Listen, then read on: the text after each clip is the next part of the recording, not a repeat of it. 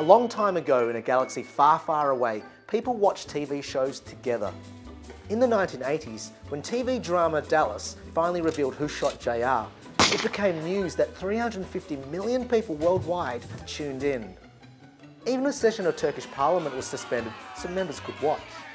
But these days, with DVRs, video streaming, and downloading, there's no longer a shared experience.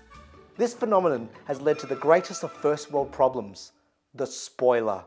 SBS wishes to advise that the following segment may contain spoilers for Game of Thrones, The Sixth Sense, The Empire Strikes Back, Breaking Bad, Free Willy, and the entire Harry Potter franchise. Sorry. Many Game of Thrones fans watch the third season's infamous and violent plot twist in real time. You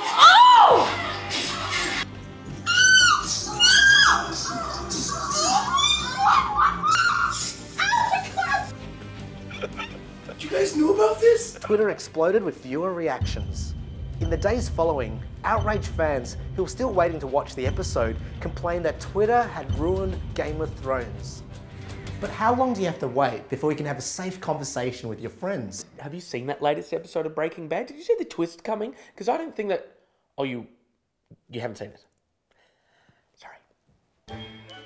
When a Simpsons episode spoiled the ending of Empire Strikes Back, Wow, what an ending! Who'd have thought Darth Vader was Luke Skywalker's father? it was okay because it was 11 years after the movie's release.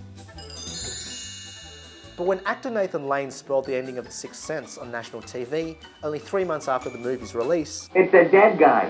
He's a ghost. That's the surprise ending. people were rightfully outraged. But not as much as Harry Potter fans driving behind this guy. You know, it reminds me of the time in Breaking Bad where Skyler. No, no, no, yeah, no, go la, la, la, la, la. This is, however, not a new problem. Take the trailer for Tom Hanks' Cast Away. Man gets stuck on an island, befriends a volleyball, man gets off island. That's not the opening five minutes, that's the whole movie. Free Willy went one step further and gave away the ending by leaving a question mark off the title. But finally, in a real life plot twist of its own, researchers at the University of California, San Diego found that knowing the ending of stories in advance helped their subjects follow the plot better and build anticipation and pleasure.